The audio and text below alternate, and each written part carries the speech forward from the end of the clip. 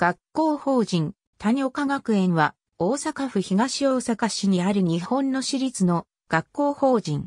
大阪商業大学などを運営する設置者。大阪府東大阪市三栗屋栄町4-1の10学園の源流は1928年に設置された実業学校の大阪城東商業学校。初代校長は谷岡昇。なお、翌1929年、設立者を伝守金次に変更している。1940年代前半には太平洋戦争に伴う戦時措置により国策として商業学校は原則として工業学校へと転換されることになり、1944年に布施工業学校を併設。終戦により1945年に大阪城東商業学校に復元し、翌1946年5月、運営法人として財団法人上東文化学園が設立認可された。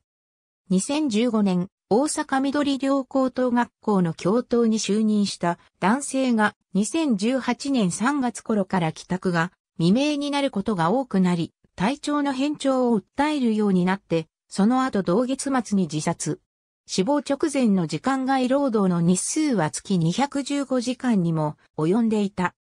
教頭の遺族らは、校長や事務局長からの高圧的な指示や、極度の長時間労働が原因で、精神障害を発症し、これらが自死要因となったとして、同校を運営する東海学園を相手取り、大阪地方裁判所に訴訟を起こした。ありがとうございます。